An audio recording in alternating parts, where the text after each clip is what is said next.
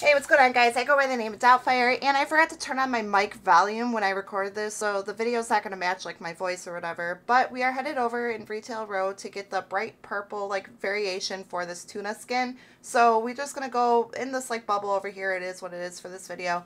But we're going to go head over to the back shops. And while we're landing, can you do me a favor? Drop a like on the video. Hit the red subscribe button if you are new.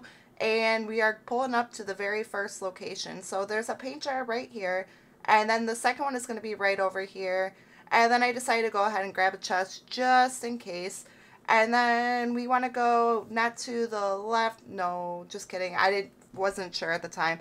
But we're back over here. And then you're going to see another paint jar right here. And this is what the skin will look like once you get all the paint cans from Retail Row. And like I said, I hope this video helped you out. Please drop a like and we'll see you in the next one. Peace.